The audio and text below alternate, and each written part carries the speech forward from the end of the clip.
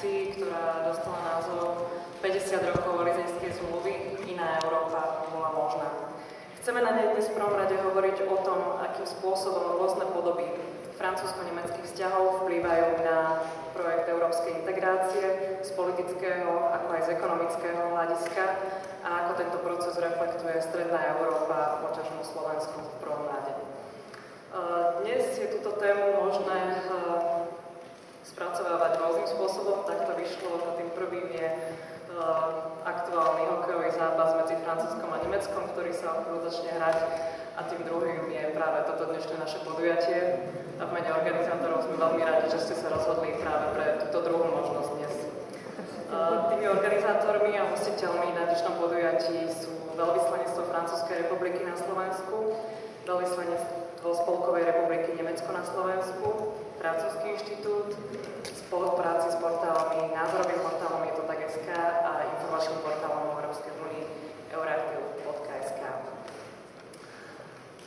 Našim hostiteľom dnes je v istom zmysle samozrejme magistrát hlavného mesta Slovenskej republiky, preto mi dovolte hneď na úvod odozdať slovo primátorovi hlavného mesta Slovenskej republiky, pánovi Milanovi Vtáčenkovi pre otvorenie konferencie.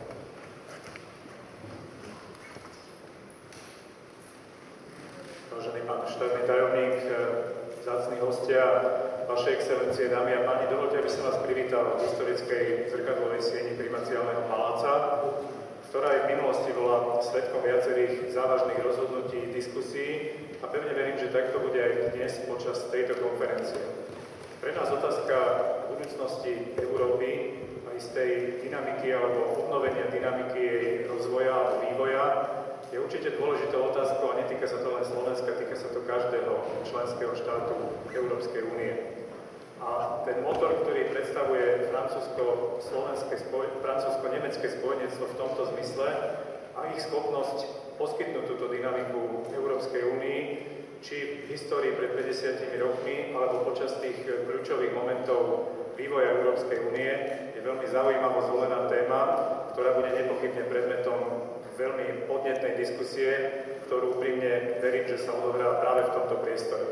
Dovolte, aby som vás všetkých privítal, zaželal vám veľmi zaujímavú diskusiu v rámci konferencie a možno podnetné nápady a návrhy na to, ako by sa mala vyvíjať Európska únia v tom zmysle, že by zohľadňovala nielen potreby a záujmy veľkých štátov, ale aj záujmy členských štátov, ako je Slovensko, ktoré takisto chcú, aby Európa bola úspešným projektom, chcú sa v nej cítiť doma a mať možnosť sa s týmto projektom stotožniť.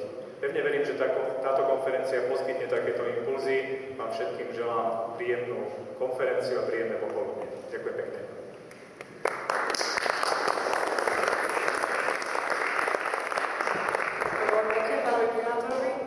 Tento rok to nie je len 50. výročie Elizejskej zmluvy, ktoré si pripomíname, ale aj 20. výročie vzniku samostatnej Slovenskej republiky a ako takej aj jej uh, samostatných bilaterálnych diplomatických vzťahov. Sme preto veľmi radi, že pozvanie pre dnes úvodné slovo prijal aj náš štátny tajomník ministerstva zahraničných vecí a európskych záležitostí, pán Peter Buria.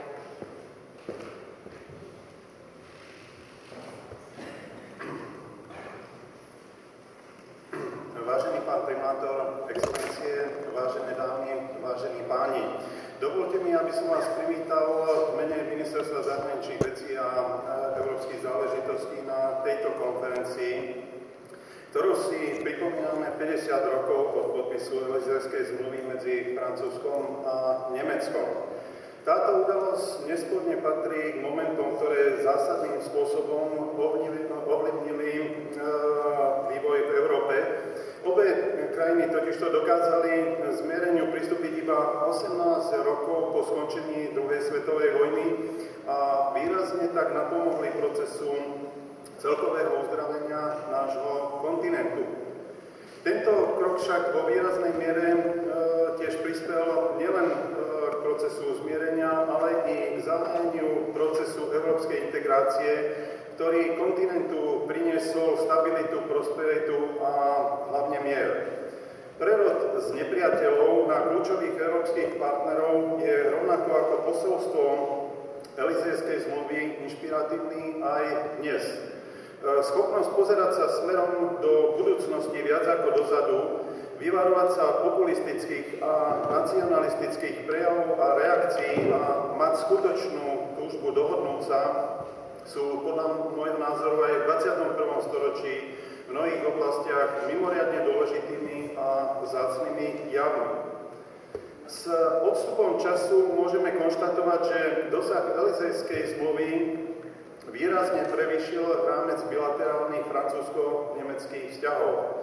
Zjednotená a stabilná Európa by bola bez zmierenia týchto dvoch národov nepredstaviteľná a som rád, že môžem aj pri príležitosti 20. výročia uzavretia dohody o e, nadviazaní diplomatických vzťahov konštatovať, že obidve krajiny, Francúzsko aj Nemecko, patria k tým najdôležitejším a um, najlepším priateľom a partnerom Slovenska, čo sa pre, výrazne prejavuje aj na našich bilaterálnych vzťahoch a aktivitách a čo sa samozrejme aj odráža na tejto konferencii o týchto dôležitých otázkach. Dovolte mi teraz e, veľmi stručný pohľad do prítomnosti a budúcnosti. E, v súčasnosti v EU čelíme vážnym výzvam, predovšetkým situácia v eurozóne nie je vôbec jednoduchá. Kríza však popri všetkom negatívnom priniesla aj pozitíva, odhalila a zvýraznila nedostatky a akcelerovala potrebu zmeny. E, v neposlednom rade tiež ukázala, že vieme nachádzať východiska aj riešenia, i keď to často vôbec nie je jednoduché.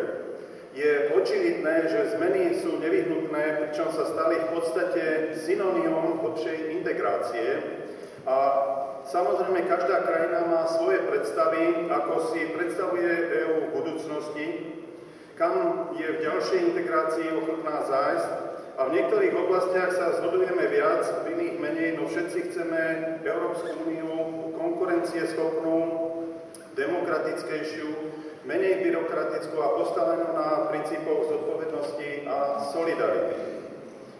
Pojmy ako fiskálna či politická únia boli ešte pred pár rokmi ďaleko za hranicami akceptovateľného, nie sú však bežnou súčasťou európskych debat.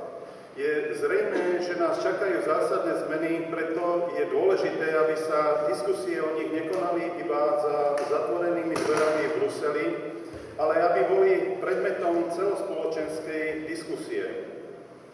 Približovanie a vysvetľovanie diania v Európskej únii občanom považujeme teda za kľúčové.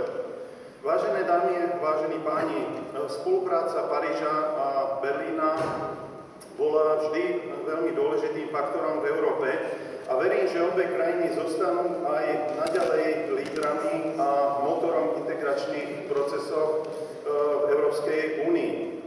Ako hovorí Názov dnešnej konferencie bez Elizejskej zmluvy mohla byť Európa iná. Aká je dosť ťažko si predstaviť, pravdepodobne by sme tu v takejto priateľskej atmosfére možno ani nesedeli. Európska únia by bola možno iba akademickým modelom a rovnako ako stabilita mier v Európe možno iba zložným prianím. Verím, že duch a obsah Elizejskej zmluvy zostane i do budúcnosti zdrojom pozitívnej motivácie a inšpirácie pri hľadaní riešení existujúcich víziev v súčasnosti. Dovolte mi preto na záver popriať našim francúzským a nemeckým priateľom, aby ich veľmi dobré vzťahy vytrvali a dúfam, že to nezmení ani terajší zápas medzi Francúzskom a e, Nemeckom na majstrovstvách sveta. Tak ako dúfajme, že nezmení naša výhra nad Spojenými štátmi, naše veľmi tradičné a dobré priateľské vzťahy. E, týmto sa chcem aj Američanom ospravedlniť za tú prehru. Zároveň som presvedčený, že napriek tomu, že si pripomíname historickú udalosť, dnešné podujatie prinesie dynamické a zaujímavé diskusie na aktuálne európske témy, ktoré sa bez, bez pochyby dotknú aj budúcnosti Európy. Preto vám želám e, veľmi zaujímavú diskusiu a podnetné myšlenky, ktoré dúfam prispojejú aj k formovaniu názorov na budúcnosť Európy. Ďakujem.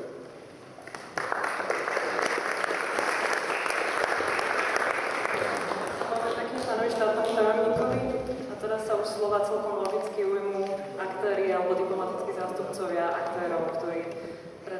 pred 50 rokmi podpísali Elizejskú zmluvu. Ako prvý to bude veľvyslanec Spolkovej republiky Nemecko, pán doktor Axel Hartmann.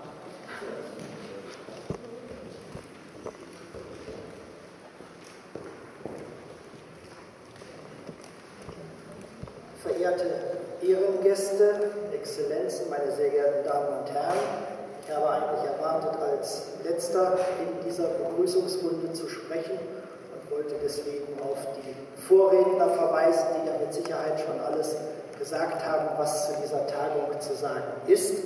Ich freue mich natürlich auch, Sie heute in so großer und so prominenter Zahl hier in diesem historischen Gebäude begrüßen zu können. Hier ist 1805 europäische Geschichte geschrieben worden. Lassen Sie mich eine persönliche Bemerkung machen.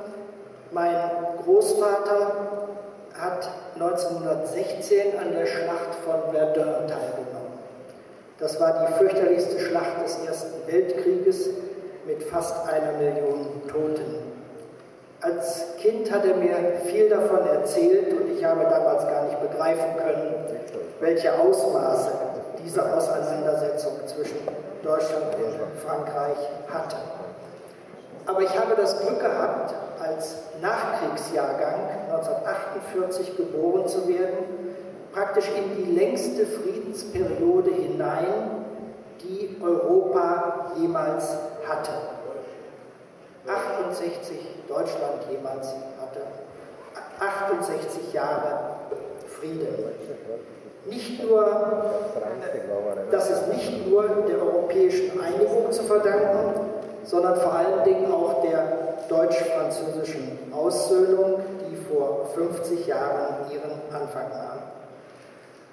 Der Kollege Jean-Marie Bruno und ich haben diese Gelegenheit ergriffen, diese 50 Jahre Élysée-Vertrag aktiv in der Slowakei zu nutzen und bei der Jugend, vor allen Dingen bei der akademischen Jugend, das deutsch-französische Beispiel für Versöhnung und für Friedensgestaltung und Zusammenarbeit zu präsentieren.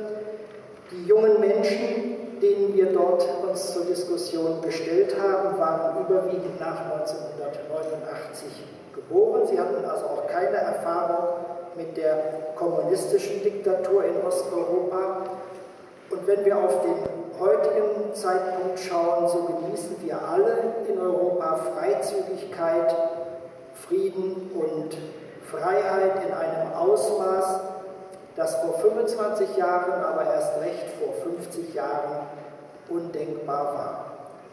Ich wünsche uns allen einen interessanten Nachmittag. Dankeschön.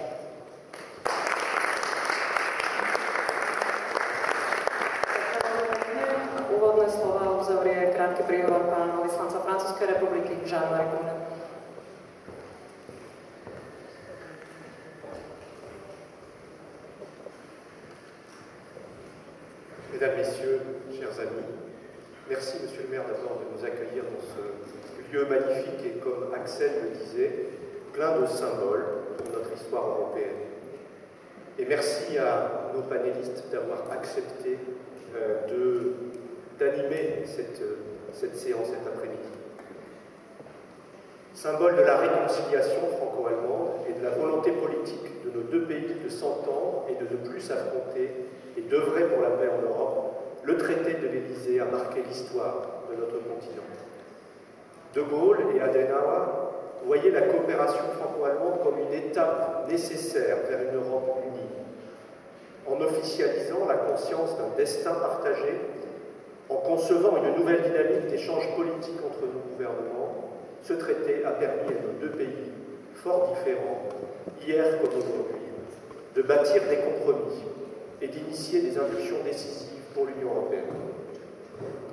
Après la chute du mur de Berlin, notre espoir commun de voir une Europe réunie dans la paix et la démocratie a connu un nouvel élan, en grande partie matérialisé avec l'élargissement de 2004 L'appartenance aujourd'hui de la Slovaquie à l'Union européenne et à la zone euro en est un des remarquables résultats.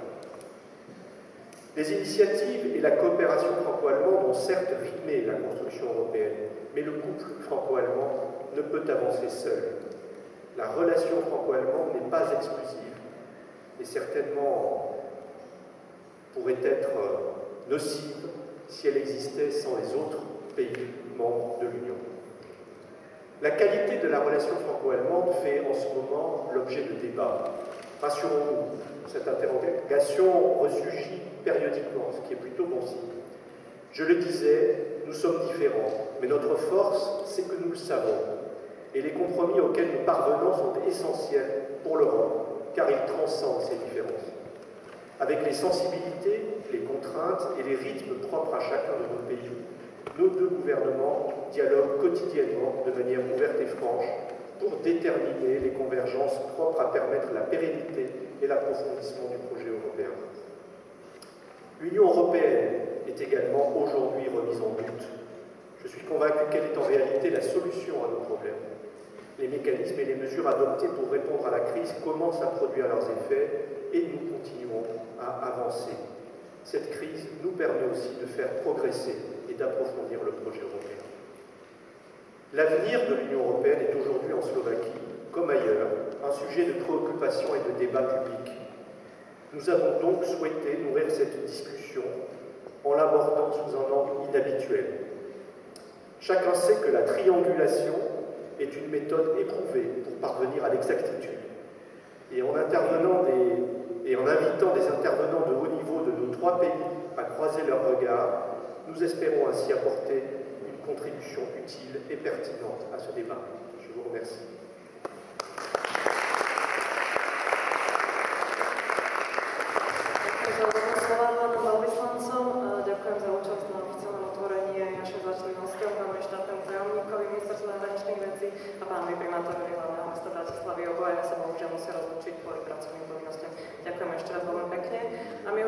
Ďalej pokračovať e, prvým s panelom, ktorý vám uvedie a hostí jeho predstaví pán Michal Havran, šéf-redaktor je to tak.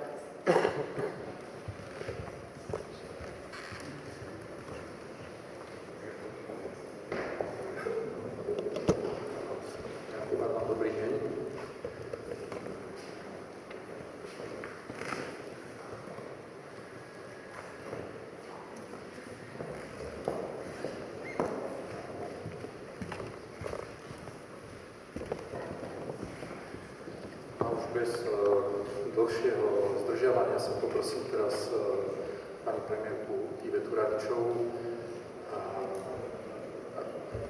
ktorá bude súčasťou nášho prvého panelu. Nech sa páči. Eh, Monsieur Lamassur, pána Lamassura, ktorý je predsedom Európskeho výboru eh, pre rozpočet a pána bývalého eurokomisára Guntera Fervegena, ktorého veľmi dobre poznáte, pretože v čase rozširovania Európskej únie aj to Slovensko bolo zodpovedné za tieto procesy.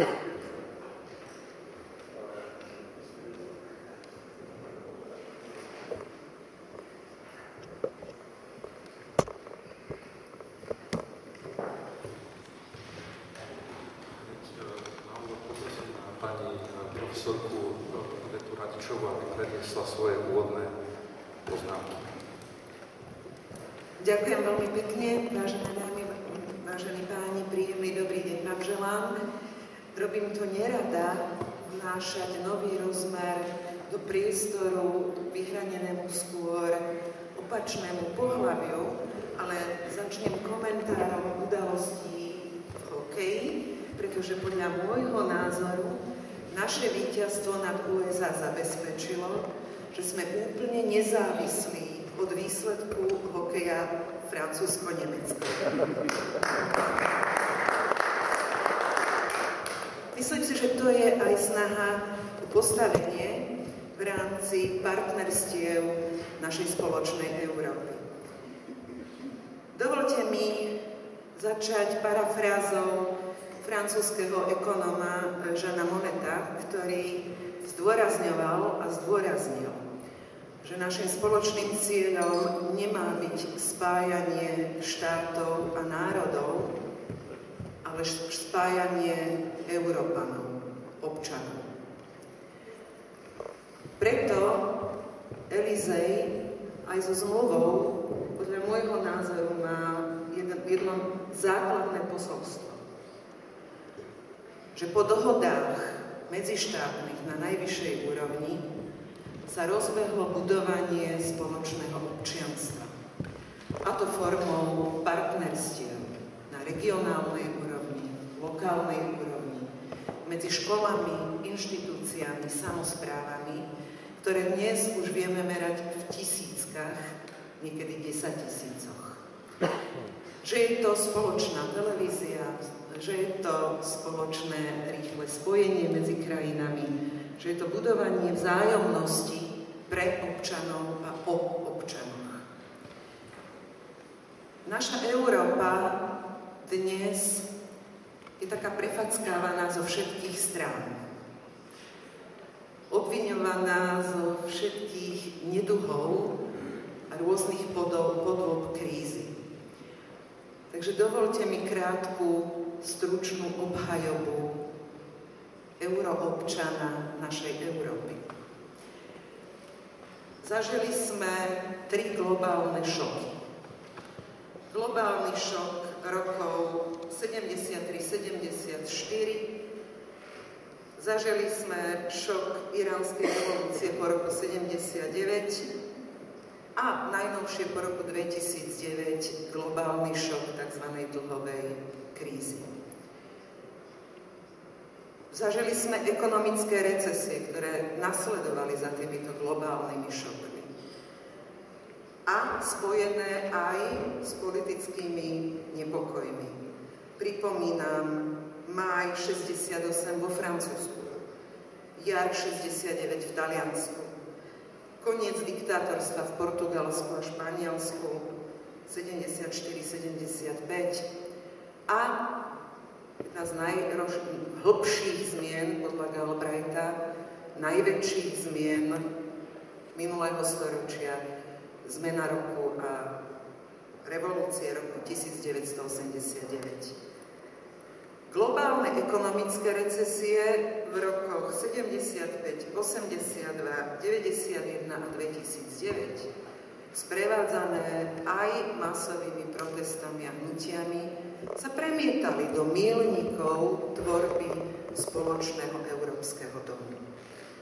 Myslím si, že treba vyzdvihnúť štyri napriek množstvu zmien, ktorými Európa prešla, lebo naozaj znamenali zásadné zmeny vo vývoji a reagovali na spomínané ekonomické recesie a politické hnutia.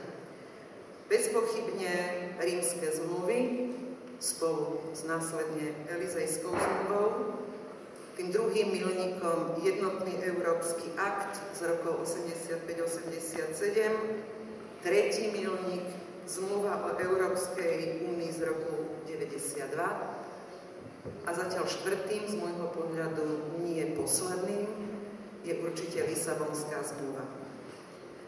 Keď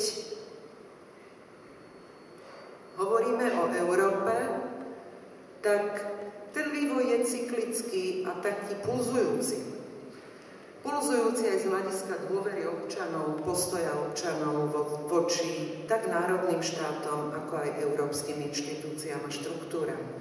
Tak ako pulzujúci bol ekonomický vývoj, tak pulzujúca je dôvera občanov voči svojim vládam, respektíve európskym inštitúciám. Ale, čo je podstatné, za tých ostatných 50 rokov celkový trend je stúpajúca dôvera občanov v pohyb a zmeny v Európe.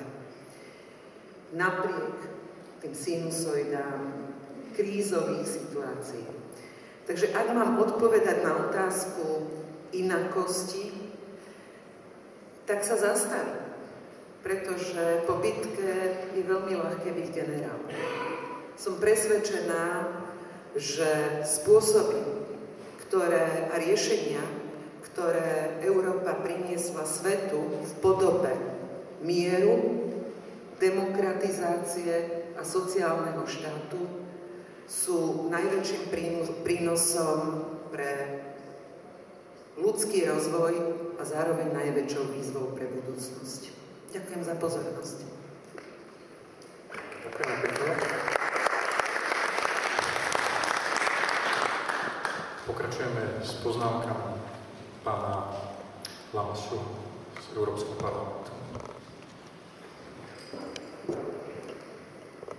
Merci, merci beaucoup. Je voudrais d'abord euh, remercier euh, le, les ambassades d'Allemagne et de France, euh, la mairie de Bratislava et les autorités slovaques qui ont décidé d'organiser cette rencontre et cet échange pour commémorer le 50e anniversaire du traité de l'Élysée et échanger entre nous sur les enseignements à tirer d'un demi-siècle de construction européenne, un demi-siècle pour les pays fondateurs, une période un peu plus courte pour la Slovaquie et les membres qui nous ont rejoints récemment, et voir ensemble comment préparer le demi-siècle qui vient.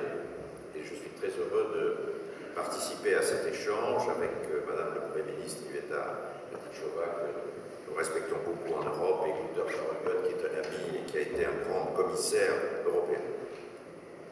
Quelques, quelques idées simples de mon côté pour euh, baliser un petit peu le débat. D'abord, ça a été dit, je le redis, monsieur l'ambassadeur d'Allemagne l'a très bien dit, au commencement de la construction européenne était la guerre, ou plus exactement la volonté d'un certain nombre d'Européens de faire en sorte que plus jamais n'éclate une guerre aussi effroyable que celle qui nous avait euh, déchirés, euh, détruits au XXe siècle.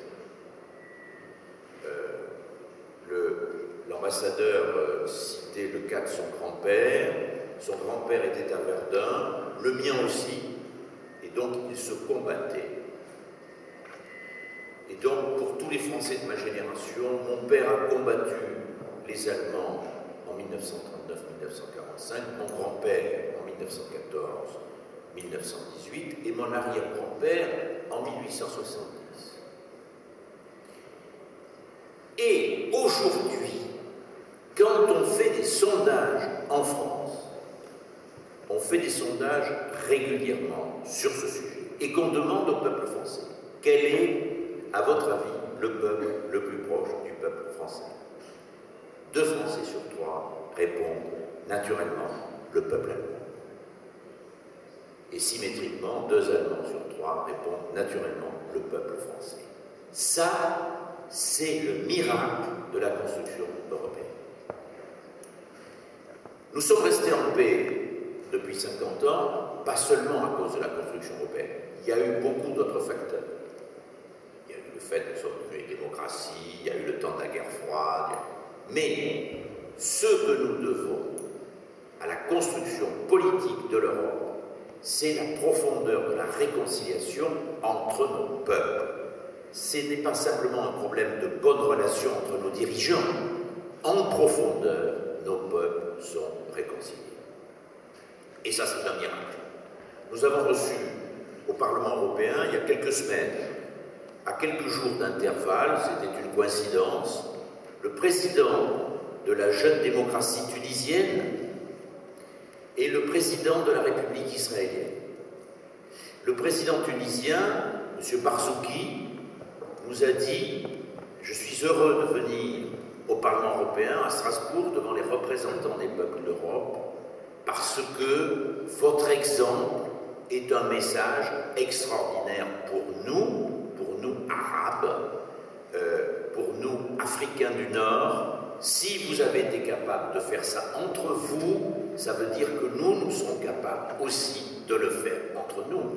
Et que les Algériens Marocains, qui aujourd'hui ne se parlent pas, et naturellement les Juifs et les Arabes, les Israéliens et les Arabes, qui ne se parlent pas et qui de temps en temps se font la guerre, pourront un jour être réconciliés comme vous avez su le faire. Et quelques semaines après, le président Shimon Peres d'Israël est venu nous dire exactement la même chose. À partir de là, le moteur de la construction politique de l'Europe, qui était la paix, qui était la réconciliation, il a accompli son œuvre. Nous sommes un demi-siècle après, nous sommes maintenant la vraie Europe, avec l'Europe centrale, avec la Slovaquie, avec les pays balkaniques. La Croatie va nous rejoindre le 1er juillet, les autres anciennes républiques yougoslaves vont nous rejoindre aussi. Nous avons besoin d'un autre moteur. La paix est faite, la réconciliation est faite. Et l'autre moteur tout naturel, c'est répondre ensemble aux défis du XXIe siècle. Nous sommes en paix, nous sommes réconciliés. Il n'y a aucune frontière, aucun contrôle entre Vienne et Bratislava. Donc, les euh, relations entre nous, commerciales, culturelles, familiales, quand on regarde les statistiques, le nombre de mariages mixtes époux appartenant à, des pays différents, le nombre le plus élevé, c'est entre la République tchèque et la Slovaquie. C'est magnifique. Euh, vos pays ont divorcé politiquement, mais ils se remarient familialement. Et donc, dans cette Europe du XXIe siècle, nous devons à la fois organiser la vie en commun, nous sommes réconciliés, faisons du commerce, nous faisons des échanges, nous vivons ensemble, et nous devons être unis et rassemblés pour faire face à la compétition économique euh, et au-delà euh, stratégique euh, et éventuellement parfois des menaces militaires venant du reste du monde, les pays émergents, les autres continents. C'est ça qui doit être aujourd'hui le moteur. Cette construction politique de l'Europe, elle n'est pas achevée. C'est une œuvre qui durera encore 10, 20, 30 ans. Pourquoi est-ce que c'est long? Pourquoi est-ce que c'est difficile? Parce que c'est original. Contrairement à ce que pensaient les premiers fondateurs, Jean Monnet, euh, Robert Schuman, Konrad Adenauer qu'on a évoqué tout à l'heure, nous ne construisons pas les États-Unis d'Europe. Nous construisons quelque chose de différent. Parce que la Slovaquie, ça n'est pas le Texas. La France, ça n'est pas l'Oklahoma. L'Allemagne, ça n'est pas le Wyoming. Ce sont de vieilles nations, dont certaines sont indépendantes depuis très longtemps, le cas de la France, dont d'autres sont unies indépendantes depuis un peu moins longtemps, l'Allemagne, et la Slovaquie a 20 ans d'indépendance seulement. Les vieilles nations ne veulent pas abandonner leur indépendance parce qu'elles sont vieilles, les jeunes nations ne veulent pas abandonner leur indépendance parce que leur indépendance est toute récente. Nous faisons l'Europe des nations. Et nous devons combiner les identités nationales, les indépendances nationales, les souverainetés nationales avec l'unité nécessaire pour vivre bien ensemble et pour agir efficacement dans le monde d'aujourd'hui. Nous sortons de la crise, ça a été évoqué notamment par Iveta Radichova. Commençons à sortir de la crise. Tous les pays n'en sont pas sortis. Qu'est-ce que la crise a montré? D'abord, on a vérifié que la communauté d'intérêt entre nos pays était maintenant tellement importante que la communauté de destin est réalisée. Nous avons la même monnaie, l'euro. L'euro est indestructible. Je prendrai une comparaison qui n'est pas très poétique, mais qui, je crois, illustre bien la situation. En fusionnant nos monnaies, nous avons fait une omelette. Quand vous euh, avez fait une omelette, vous pouvez ne pas digérer mais vous ne pouvez pas récupérer les œufs. Et donc, l'euro s'est fait. Je félicite la Slovaquie d'avoir, parmi les premiers pays nouveaux membres, été, avoir décidé d'entrer dans l'euro, avec naturellement tous les avantages que cela comporte, et aussi les devoirs et les obligations. Et Iveta Radichova est particulièrement bien placée pour savoir quelles sont les conséquences politiques, quels sont les sacrifices nécessaires pour assurer la solidarité au sein de la zone euro? Et nous avons en France beaucoup d'admiration sur la manière dont la Slovaquie a su honorer les engagements au sein de la zone euro à un moment extrêmement difficile et où une décision politique forte était à prendre. Mais en même temps, la crise a montré qu'en face de cette communauté de destin, le modèle de solidarité européen n'était pas suffisant. Nous savons maintenant que tout événement, positif ou négatif, qui frappe un de nos pays, frappe tous les autres. Et nous avons donc l'obligation de réagir comme dans une famille. Si un des membres de la famille est victime d'un malheur dont il n'est pas responsable, les autres membres de la famille doivent venir à son secours. Ça, c'est la solidarité.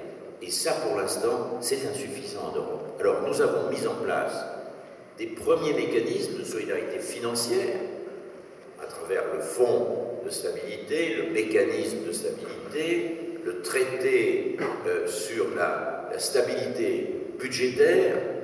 Il faut le compléter par une véritable solidarité budgétaire. Et c'est dans ce moment même que nous négocions entre les 27 gouvernements et le Parlement européen l'avenir du budget de l'Union européenne, du budget de la famille européenne. Et j'espère que d'ici la fin de ce semestre, nous arriverons à un accord pour compléter ce qui a été fait en matière financière par une véritable solidarité budgétaire. Dernier point dans ce propos introductif. Le rôle de la France et de l'Allemagne, qui est le sujet de départ de notre rencontre, pour des raisons qui tiennent à l'histoire, pour des raisons qui tiennent aux réalités économiques et politiques d'aujourd'hui. Il est évident que la France et l'Allemagne sont des acteurs majeurs dans la famille européenne. Il faut bien comprendre le sens d'un accord franco-allemand, du, fonctionnement du couple franco-allemand, du tandem franco-allemand, de la paire franco-allemande.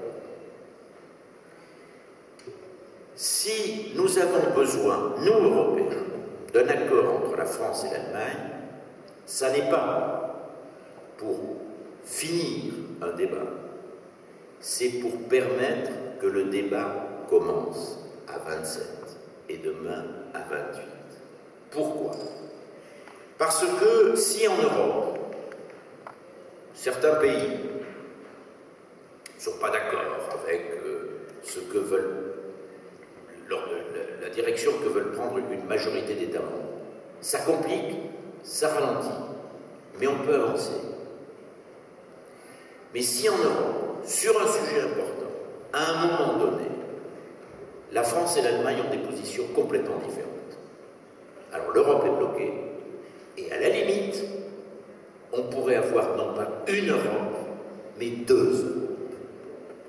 Et donc cette situation ne donne pas à la France et à l'Allemagne des droits supplémentaires par rapport aux autres, ni un pouvoir supplémentaire par rapport aux autres, elle nous donne des obligations à nous Français et à nous Allemands. L'Europe ne peut avancer que si il y a au départ un accord de la France et de l'Allemagne. Cet accord ne met pas fin au débat, il permet que le débat commence. Et je souhaite naturellement que nous soyons capables de continuer à travailler dans cet esprit de manière à ce que, sur ces bases, l'Europe puisse progresser et achever sa construction politique. Cette construction sera achevée le jour où on n'aura plus besoin moteur franco-allemand, mais où l'Europe aura ses dirigeants à elle, élus par les citoyens européens, et qui, à ce moment-là, tout naturellement, assureront, feront les propositions, montreront la direction, seront le moteur de la construction européenne. Je vous remercie.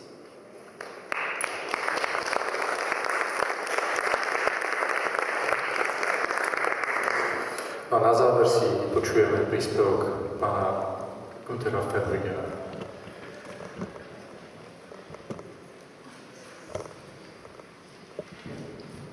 Vielen Dank. Meine sehr verehrten Damen und Herren, ich möchte zunächst der äh, französischen und äh, der deutschen Botschaft für diese Initiative danken.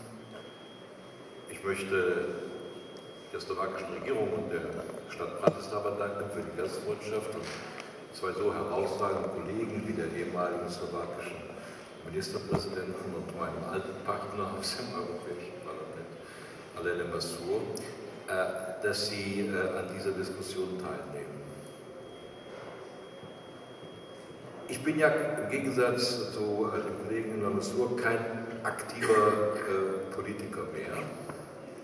Ich bin inzwischen ein Professor für politische Wissenschaft. Und ich kann Ihnen sagen, es ist sehr viel einfacher. Ich kann Ihnen sagen, es ist sehr viel, es ist sehr viel einfacher, die europäische Politik zu analysieren und zu kommentieren, als sie zu machen. Und ich bin heute natürlich äh, ein bisschen im Zwiespalt, was von mir erwartet wird. Lassen Sie mich zunächst sagen, die Tatsache, dass äh, Ausgangspunkt unseres Gesprächs das 50-jährige Bestehen des äh, Élysée-Vertrages ist, ist in meinen Augen eine großartige Gelegenheit, noch einmal daran zu erinnern, um was es bei dem europäischen Projekt eigentlich geht. Ja? Es geht bei dem europäischen Projekt nämlich nicht um Zinsen, es geht nicht äh, um Wechselkurse, es geht nicht äh, um äh, Kredite, um Quoten und um Normen, sondern es geht bei dem europäischen Projekt immer noch, und das wird für alle Zeiten gelten, in erster Linie darum, ein friedliches Zusammenleben der Völker Europas in Frieden und in Freiheit zu garantieren. Das ist so, was es geht. Und ich glaube, dass dieses Zusammenleben der Völker Europas in Frieden und in Freiheit zwei Voraussetzungen hat, hatte, die erfüllt sein müssen. Die erste Voraussetzung war die Beseitigung des jahrhundertealten Konflikts äh, zwischen Deutschland und Frankreich. Wir haben schon eine Menge darüber gehört. Ich könnte auch aus meiner Familie äh, Geschichten darüber erzählen. Könnte darüber erzählen, wie mein Großvater äh, mir erzählt hat, was er in der Schule gelernt hat über die Franzosen. Franzosen sind minderwertig, sie sind Erbfeinde. Ja, und wir dürfen ihnen, wir als Deutsche dürfen ihnen niemals vertrauen. Das hat er in der Schule gelernt. Und äh, ich habe, als ich so alt war, etwas ganz anderes erlebt.